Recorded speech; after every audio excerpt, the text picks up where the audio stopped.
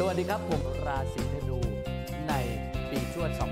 2563 ปีชวดธาตุทองครับชาวราศีธนูในปีนี้ได้อิทธิพลของไพ่ราชินีอาจารย์ไทยริสเทสนะครับนั่นมีความหมายถึงมีเสน่ห์แรงเป็นพิเศษครับ ใครที่ยังไม่มีคู่ถือว่าโชคดีเป็นช่วงเวลาเลือกหรือว่าเป็นช่วงเวลาค้นหา เปิดใจกว้างๆไว้ความรักจะวิ่งเข้ามาครับ ส่วนใครมีคู่แล้ว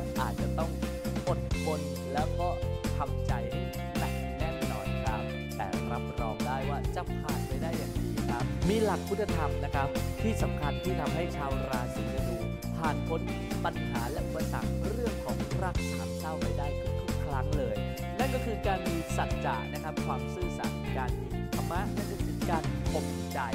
ตอบกิเลสทั้งปวและที่สำคัญการมีจาคะคือความเลือดคูณครับ ชาวราศีธนูอาจจะเป็นคนที่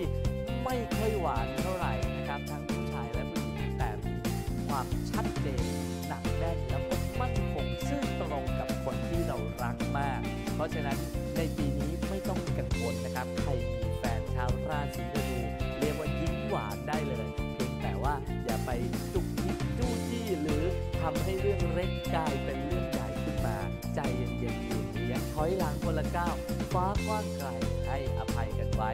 รับรองได้ครับ จะผ่านพ้นปัญหารักสามเศร้าหรือว่าปัญหาของ ราะจริงๆแล้วตัวเราหรือคนที่เรารักอาจจะไม่ได้เป็นผู้ที่สร้างปัญหา แต่คนอื่นๆอาจจะเข้ามาในชีวิตของเราได้ ปัญหาจะไม่เกิดถ้าเราไม่คิดว่าสิ่งนั้นเป็นปัญหานะครับทำใจให้สบายครับ โดยเฉพาะในช่วงเดือนเมษาถึงเดือนมิถุนายน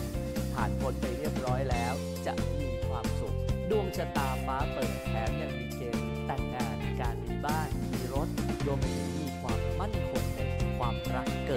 วย ปีนี้ถือเป็นปีทองของอัภัยสำหรับเรื่องของการงานการเงิน และกลางปีไปแล้ว เด่นในเรื่องของความรักด้วยระมัดระวังเกี่ยวกับเรื่องของใจให้มีความหนักแน่นมั่นคง รับรองได้ทุกอย่างผ่านพ้นไปได้อย่างมีความสุขแน่นอนนะครับ